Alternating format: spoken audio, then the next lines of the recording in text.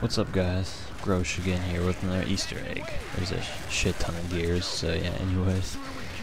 Um, this one, I don't know how the hell they got this idea, but I love it. Probably one of my other favorites besides that slide or whatever, but anyways. Um, this one, uh, you've got, there's a, a big golden slash lambent chicken.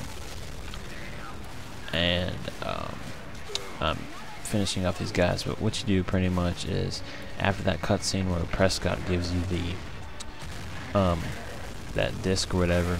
Oh, by the way, there's a cog tag up there. That's what I'm getting at right about here. You shoot the dude's arm. But anyways, after Prescott gives you that um, disc, um, this is the cutscene right after it. What you do is kill everybody, and then you run over to these pipes right here. And what you do is you shoot into them, and then you'll hear Marcus. He says hello down them. So you just keep shooting until he says like, until he says hello. You see it. There he screams hello, and there's four of them. So what you want to do is just shoot down them, and well, uh, the fourth one, uh, where it comes up, taking my sweet ass time, but um, yeah. But when you shoot four, when you shoot fourth one, a chicken pops out, and it looks like a little teeny harmless chicken, which you're about to see in a sec. This one took a while, almost took a whole clip.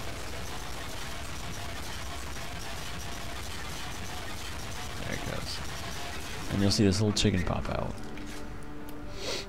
and then what you want to do is uh, pretty much just shoot at it. And when you shoot at it, big ass golden lambent chicken comes out and starts chasing you around and shoots fire out of its mouth. Which is, in my opinion, pretty awesome. But anyways, you're about to see right about now. I tried to chainsaw, but you couldn't. But yeah, there it is. and it starts chasing you around and everything is fast as hell. And I was playing on casual and I died, almost died a few times. And it caught me right here. I thought I was dead, but yeah. Anyway, so yeah, there's another Easter egg. So I'm going to let the video play out, but thank you for watching, guys.